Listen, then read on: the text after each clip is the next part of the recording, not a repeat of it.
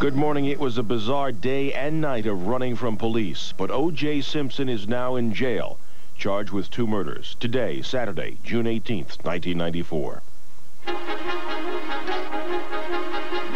From NBC News, this is Today with Mike Schneider and Jackie Nespral.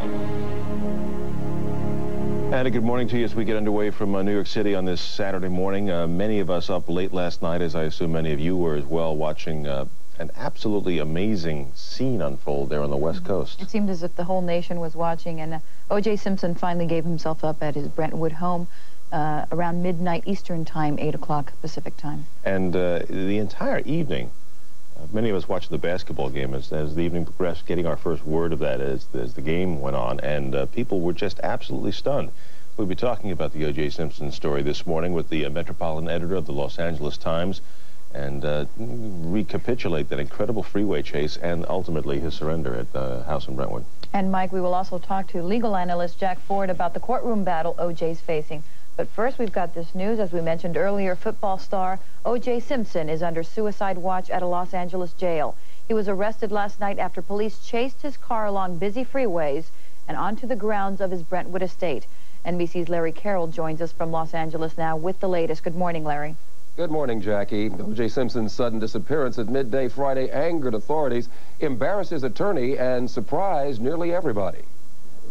By 5 p.m., when his attorney held a news conference, Simpson, in a suicidal mood, had escaped his attorney and doctors and was at large. Accompanied by lifelong friend and teammate Al Cowlings, Simpson had begun a mad dash over miles of L.A. freeways, his destination unknown. OJ, wherever you are, for the sake of your family, for the sake of your children, please surrender immediately. Before he left, Simpson wrote three letters. Right One thing. was read in public. So why do I end up like this? I can't go on. No matter what the outcome, people will look and point. I can't take that. I can't subject my children to that. After a 90-minute chase that ended at the door of the Simpson estate, Simpson surrendered to police and was taken into custody. This morning, O.J. Simpson is being held without bond. He'll be arraigned on Monday, they say, or Tuesday, and prosecutors say they'll decide later whether to seek the death penalty. Jackie? Larry, do we have any word at this point as to his mental or physical condition? Well, as we uh, reported, he is under suicide watch in the Los Angeles County Jail. He is said to be extremely depressed. We keep looking at the pictures of, of the chase, um, but somehow the pursuit seemed to have been gentle. Um, was the police worried? The police believed they had the entire situation under control. Of course, they had an abundance of, of officers in pursuit. And as you say, the chase, the speed of the chase never exceeded about 45 miles per hour. They were determined they were simply going to uh, play the long game and, and wait it all out. All right, thank you very much, Larry, for that live report. NBC's Larry Carroll in Los Angeles, and we'll have more on this story in just a few minutes.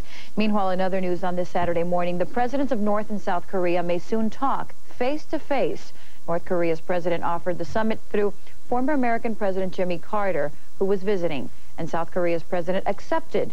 Leaders of the two countries have not met since the peninsula was divided 49 years ago. And that is the news on this Saturday morning with the weather. Here's Al Roker. Good morning, Al. Good morning, Jackie, Mike, everybody. And uh, we've got some real summertime weather to talk about. Let's go to it first of all.